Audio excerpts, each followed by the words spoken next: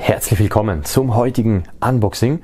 Heute haben wir für euch die Memo-Box von Pimpf. Alle weiteren Informationen zu diesem Album, der Tracklist und dem Boxinhalt, sowie natürlich auch die Links zum Album und zur Box findet ihr wie immer unter diesem Video in der Videobeschreibung. Memo von Pimpf, das Ganze aus dem Jahr 2015. So sieht das aus. Wir haben hier eine weiße Box in der schlichten Optik eines Kartons, also eine klassische Kartonbox, allerdings eben nicht in braun, sondern in weiß eingefärbt. Und auf der Oberseite haben wir hier einen Sticker angebracht. Hier oben lesen wir einmal Pimpf und Memo, also der Interpret plus der Albumtitel.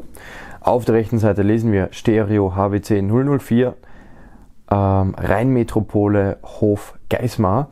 Das ist der Wohnort bzw. der Geburtsort von Pimpf. Dort kommt er her. Das ist eine 15.000 Einwohnerstadt in der Nähe von Kassel.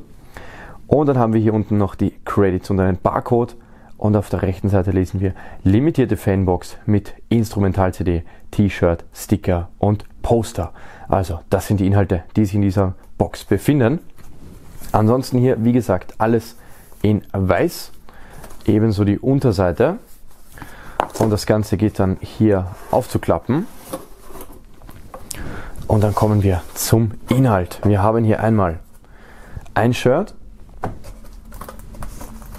dann das Album, die Instrumental-CD 1, 2 Sticker und ein Poster. Von innen die Box hier in weiß. Dann machen wir das gute Stück mal wieder zu.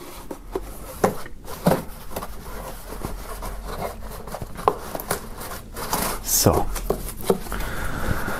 Zur Seite und starten wie immer mit dem Album an sich. So, das Ganze ist noch eingeschweißt. Bedeutet, wir werden auch hier wieder die Folie abmachen.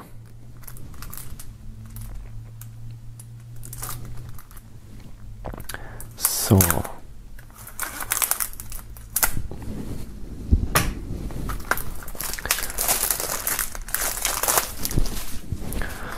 Und dann schauen wir mal hinein. So sieht das aus. Also das Cover exakt wie auch von der Box. Das kennen wir schon. Pimp hier vor einem Regal, vor einer riesigen Plattensammlung sitzend. Also sieht so aus wie ein Wohnzimmer. Wir haben hier nämlich auch eine Couch. Sieht recht gemütlich aus, die Couch. Und dann hier eben Unmengen an Platten in Regalen hier eingeräumt. Das Ganze kommt in einem Standard Jewel Case. Auf der Seite lesen wir dann auch wieder Pimpf und Memo und auf der Rückseite haben wir dann die Tracklist, 13 Stück an der Zahl. Und wir haben auf diesen 13 Tracks drei Features verteilt. Wir haben hier Features von Umse, Mortis und Damien Davis. Und darunter dann auch wieder Credits und Barcode. Und im Hintergrund sehen wir dann auch wieder diese Plattensammlung. So, dann werfen wir mal einen Blick ins Booklet. So, was lesen wir hier? Okay, also das sind nochmal die ganzen Infos kompakt zusammengefasst des Albums. Wer hat das Ganze produziert? Wer war da hinter den Kulissen äh, am Start? Wer hat das Ganze begleitet? Dann, egal wie weit wir fahren, Jungs, wir kommen niemals an. Okay, recht pessimistisch. Dann haben wir hier einzelne Tracks inklusive der Info wer daran beteiligt war. Sehr schön. Und das Ganze dann hier auch nochmal und unterlegt mit so kleinen Fotos in Schwarz-Weiß. Dann haben wir hier noch, was lesen wir hier? Ich habe leider keine guten Perspektiven. Du kannst dir gerne einreden, dein Studium zu lieben. Ich schreibe weiter als pa ich schreibe weiter auf Papier Okay, das ist etwas eigenartig. Also, ich schreibe weiter auf Papierflieger-Songs. Doch guck, ich habe das Zeugnis von Studierten bekommen. Alles klar. Ja, also das dürfte auch wieder eine Songzeile sein von Pimpf.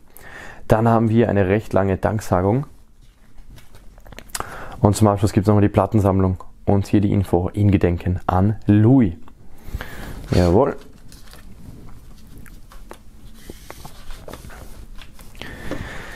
Die Album-CD sieht dann so aus. Pimpf Memo, also hier dieses dunkelbraun bzw. schwarz und ähm, dieses olivgrün, diese beiden Farben hier, ziehen sich echt durchs ganze Artwork, auch jetzt hier durch die CD und wirkt auf mich irgendwie so ein bisschen bedrückend, um ehrlich zu sein. Was ich auch spannend finde, hier unten dann noch die Info, haben wir auch selten auf den CDs, dass hier nochmal kompakt steht. Artist, Album, Laufzeit und Label. Das finde ich echt schön gemacht. Und dann haben wir hier noch so ein kleines Foto.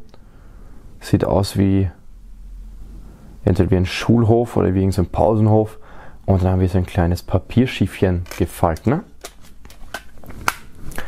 Das war das Album. Zusätzlich haben wir dann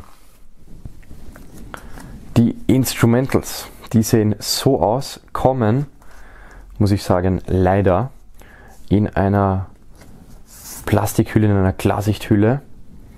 Sehen so aus, BIMF Memo Instrumentals lesen hier drauf. Finde ich etwas schade, dass man die hier so einfach nur in diese Hülle gepackt hat. Ja, Digisleeve ist auch nicht das wahre. Ähm, wäre aber doch, glaube ich, doch noch eine Spur besser gewesen. Oder eben dann entweder hier mit ins Jewel Case packen oder eben extra nochmal verpacken. Aber diese Folien hier, von denen bin ich kein Fan. Kann man so schlecht ins Regal stellen. Dann haben wir zwei Sticker mit dabei. Einmal diesen hier, ist in der Optik wie so ein Notizzettel liniert. Und was lesen wir hier? Ich schreibe an deinen Namen adressiert und vielleicht hörst du eines Tages was von mir. Ja, das ist schön im Hochformat. Und dann haben wir diesen hier, Pimpf Memo Kreisrund.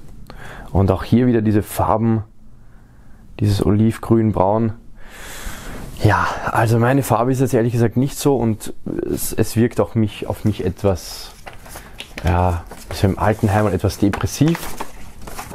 Also rein von der Farbwahl ist das Artwork jetzt nicht ganz so mein Fall. Dann haben wir hier das Foto, das wir auch schon gesehen haben im Booklet. Und zwar hier Pimp, der gerade einen kleinen Papierflieger loswirft. Darunter lesen wir wieder Interpret plus Albumtitel und rechts dann Rheinmetropole Hof Geismar. Das Ganze ist einseitig bedruckt und im Hochformat.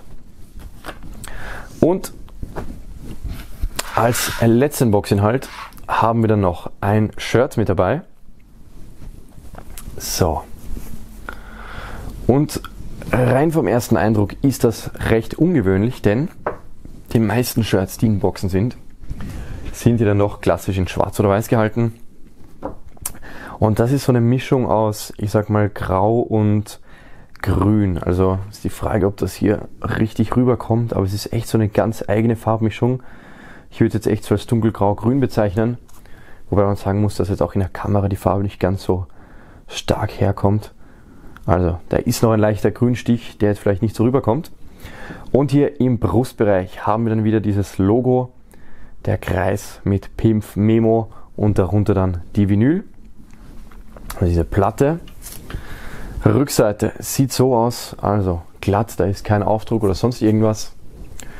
Und wir haben es bei diesem Shirt zu tun mit einem Gilden Heavy Cotton in der Größe L 100%, nein nicht mal, sorry, 50% Baumwolle und 50% Polyester und das Ganze ist made in Nicaragua.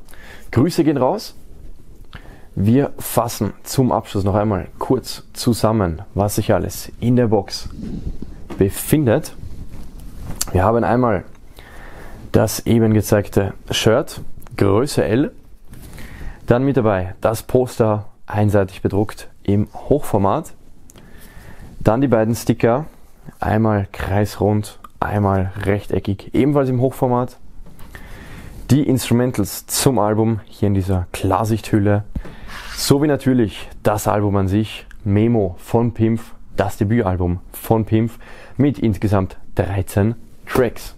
Jawohl.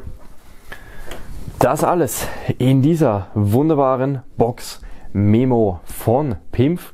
Mich würde natürlich interessieren, was haltet ihr von dem Album bzw. der Box? Schreibt es in die Kommentare und wenn ihr die Musik feiert, falls ihr Pimpf unterstützen möchtet, dann findet ihr die Links dazu unter diesem Video in der Videobeschreibung.